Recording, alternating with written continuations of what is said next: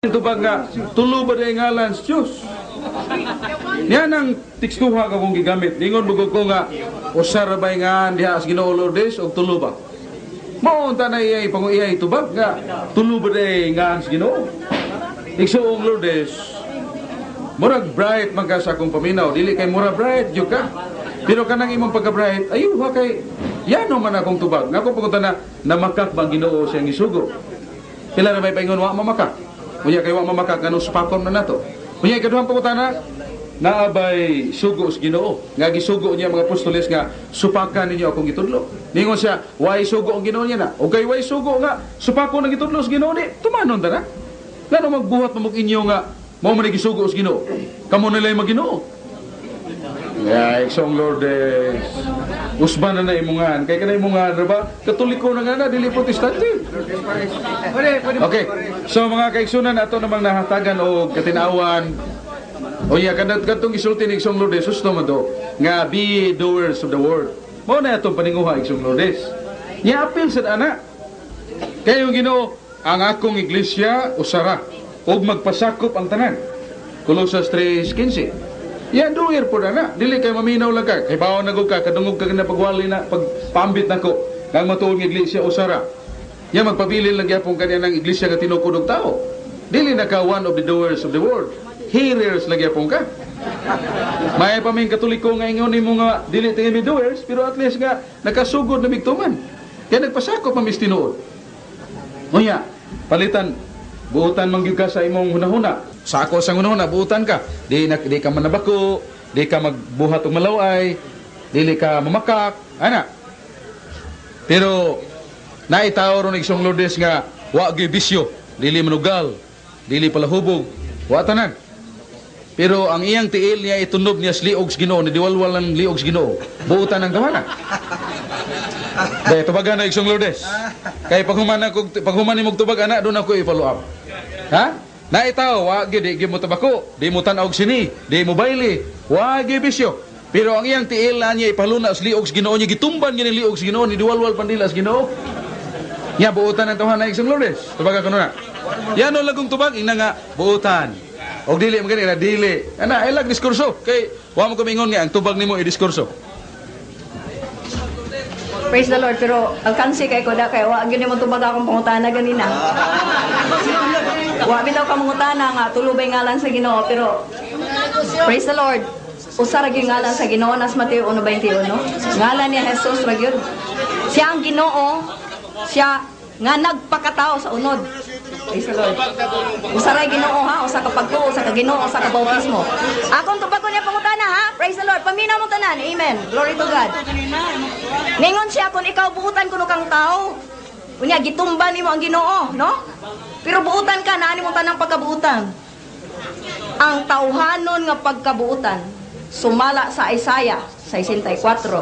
Uh, size dili makaluwas. Amen? Kasabot mo? Bisan pag maghatag kag limos, magluhod kag piko pirmi padung to sa altar, nasanto ninyo nga gina na sa gangaan nga to padung sa altar, magluhod ka kada adlaw. Magampo kas Ginoo balik-balik. Bisag kapila pa nimo ampuin ang rosaryuhan. Di gyapon ka maluwas. Why? In the book of Isaiah, Your righteousness is just a filthy rags in the sight of God. Ang imong pagkamatarong, daw lang kuan, usa lang kahugaw nga basahan sa mata sa Dios. Unsa may makaluwas? Mutuo kang ni Ginoong Hesus, buhat 16:31, magpabautismo ka sa ngalan niya kay mao nay silyo sa imong pagtuo, amen. Isong Lourdes, ang mayong lungsuranon, mutumas balaos gobyerno. Ang mayong Kristiyanos, mutumas balaos Ginoo. Ang akong ipangayo, amo mo mangayo og diskurso ba? Ang tanda ko na itaw nga way bisyo, di mo tabako, di mababay, uban pa. Pero ang iyang tiil, gi sikad ba diya sa liog sa Ginoo, nagdiwalwal ng liog sa Ginoo. Buutan ba daw hana? Muna akong pagutana. Iya magibasa ang Isaiah 64:6 nga kitang tanan mahugaw. Hugaw patas trapuhas tiil. Wa mo kumutana anak unsa ka limpyo ug unsa ka hugaw ta. Nga ko pagutana kadtong tawhana. Kaway bisyo.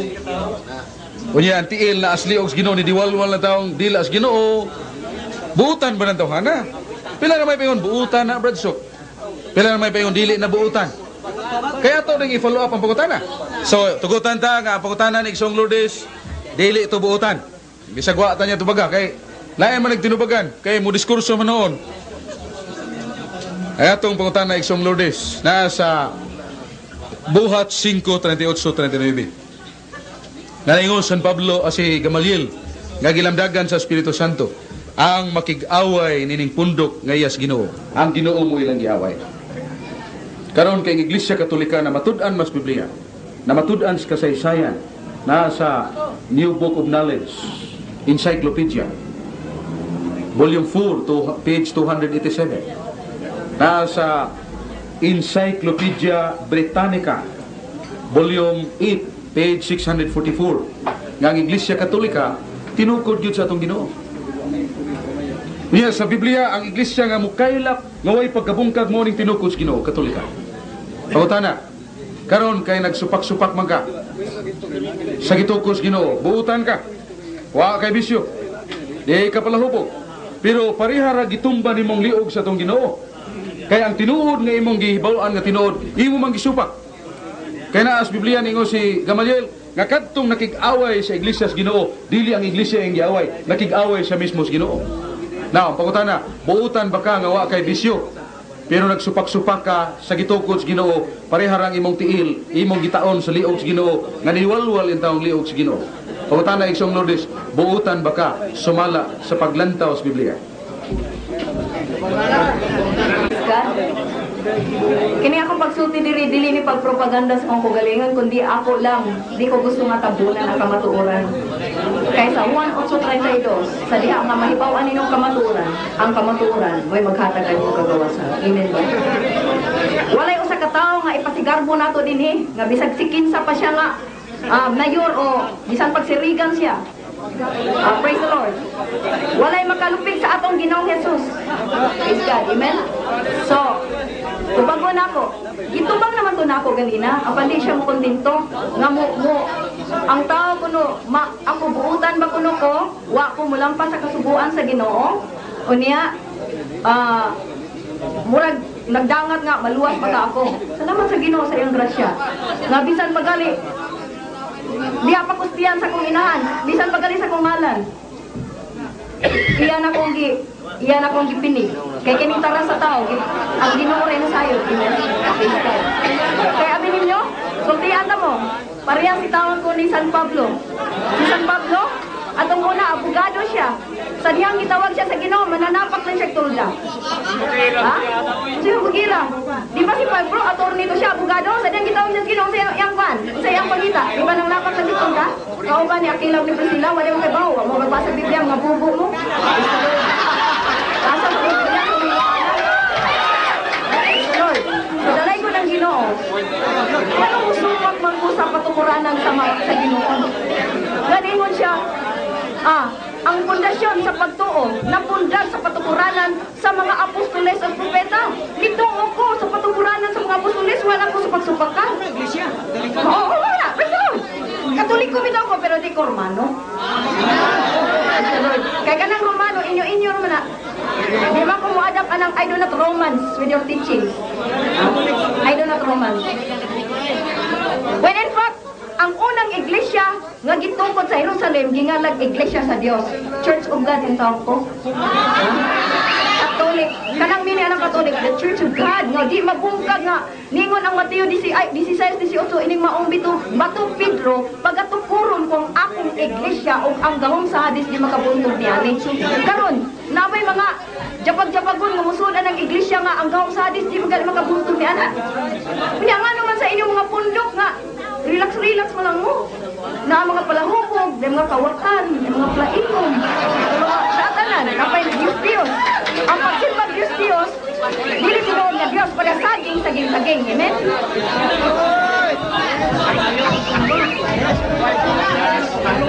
Bueno, Tulos naman dahil tabugo rin eh. Ulusan naman yung Brian Tato, Sister Lourdes. Mana nga, Hinaot nga mamayo ni Sister Lourdes pag praise the Lord. Nga kita taon, mga bugo, nga siya lagi bright. Bueno, ang akong pangutana, medyo gitubag man sa Lourdes. ngagikan pa sa tiyan, pinili na gid siya. O ya kita kay wa man sa tapili ah, pareha niya.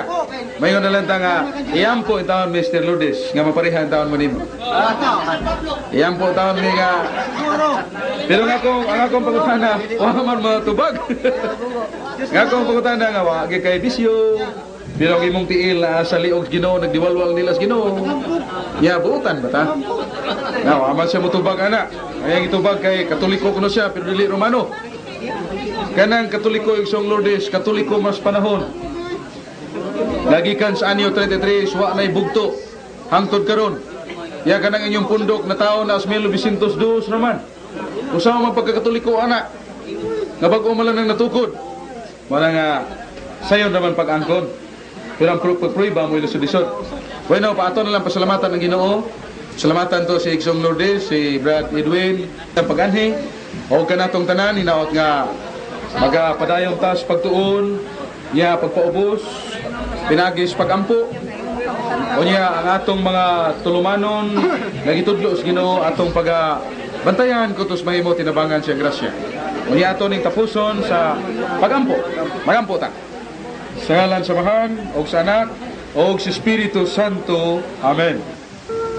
Among lang itong amahan, nagpasalamat kami karong gabi una nga nagkabailuay mga may hunahuna. O hinaot Ginoo nga makakaton kami pagpaubos. O among dawaton ang imong gitudlo. At agi kami grasya o kaluoy Ginoo.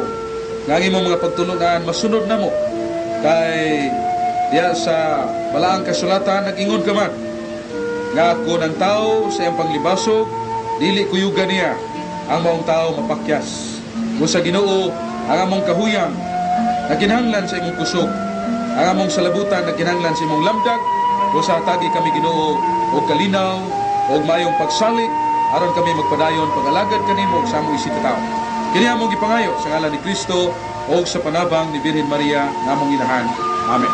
Sa ngalan sa Mahan o sa Anak o sa Espiritu Santo. Amen.